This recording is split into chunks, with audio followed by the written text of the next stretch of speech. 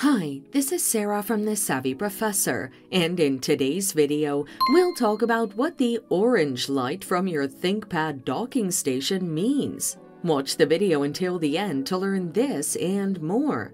An orange or amber light from your ThinkPad docking station isn't an issue. Instead, it's a sign that the device is powered on and ready for connection. Here's what to do if you don't see the light. First, check the power connection. Check the power cable for signs of looseness and securely plug it into the power source and the docking station. If this doesn't work, try using a different power source or outlet. Next, reverse the USB-C port connection.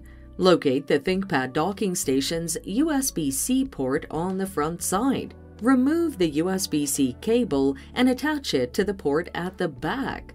Perform a hard reset. If these remedies don't work, unplug all connectors from the docking station.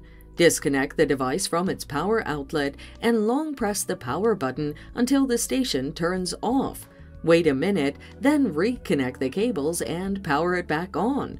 And there you have it. That's the reason why your ThinkPad docking station has an orange light and what to do if you don't see the light.